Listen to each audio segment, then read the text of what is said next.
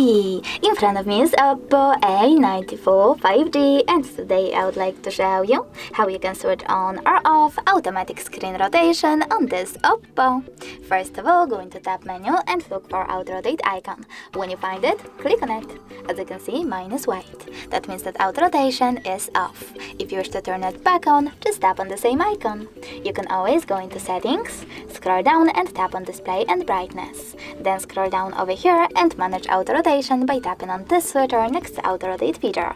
If it's gray, that means that auto rotation is disabled. In order to enable it, just tap on the same switcher. Thanks so much for watching. If you enjoyed this video, smash that like button, comment and don't forget to subscribe. Bye!